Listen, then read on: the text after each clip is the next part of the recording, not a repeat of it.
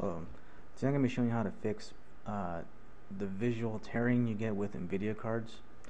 Um, if you have an AMD machine with an NVIDIA card, for whatever reason, or at least for me, uh, the desktop effects are very, very uh, sluggish or they tear. So for this, you also need to downgrade your flash, and that also fixes a couple problems as well. So first, we'll do the flash. So open up your Synaptic Package Manager and type in flash and you'll see the flash plugin installer right here.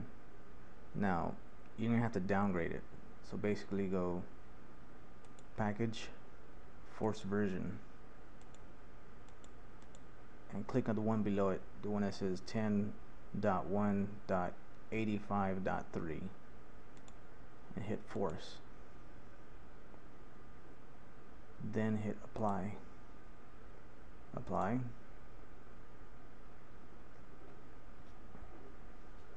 Takes a couple seconds.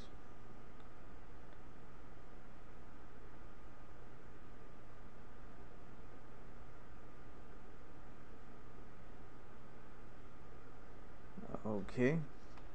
Now we need to lock it. So click on it one more time. Package lock version this prevents it from upgrading or updating or whatever you want to call it. Alright. And yep now it's done. Close that.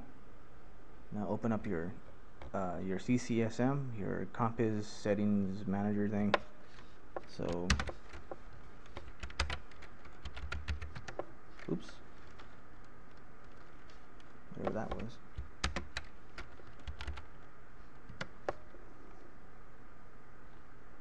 go to general. And right here you'll see the uh, display settings. Click VSync to left or I'm sorry VSync. Click that. Then bump your refresh rate up a little bit.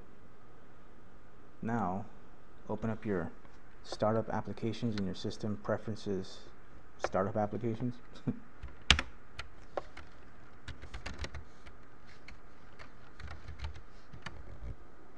and we have to add something. So click add. Well in this case I already have it you know added so we'll just look at mine.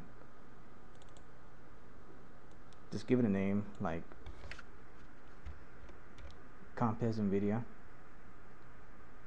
type the command compiz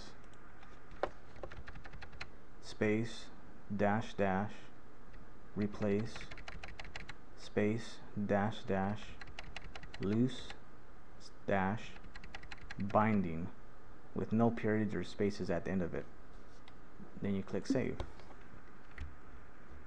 And once you're done your desktop should be really smooth and you know I guess uh, responsive. So uh, that's that. Thanks